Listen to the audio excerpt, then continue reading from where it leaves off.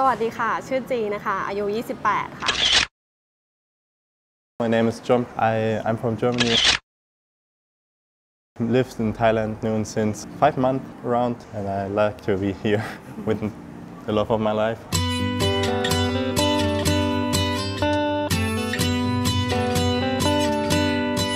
เราชอบในความที่เขาแบบเป็นคนตลกเฮฮาซึ่งเราเราก็ เป็นคนยังไงล่ะซีเรียสกับชีวิตอยู่แล้ว เราก็ต้องการคนที่แบบตลกนิดนึงอะไรอย่างเงี้ย I love her because I can be myself, be at any time, can see in her eyes and know that we stay together forever, whatever will come.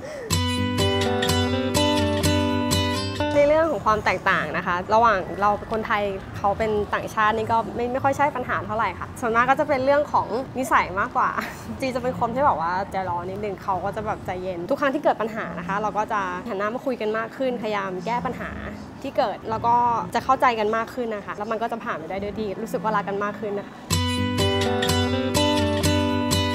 can still be together even if we are different because we support each other and help the other on everything. Like when someone have a problem, the other one support him and try to push him that he can solve the problem and be a better person. จริงๆ แล้วนะคะในเรื่องของความรัก ไม่ว่าจะอะไรก็ตามไม่ใช่อุปสรรคค่ะไม่มีอุปสรรคสำหรับความรักค่ะ ถ้าเกิดว่าเรารักใครสักคนนะคะ ไม่ว่าจะเป็นเชื้อชาติศาสนาหรือว่าอะไรก็ตามจะผ่านไปได้ คือทุกอย่างจะไม่มีข้อแม้ค่ะ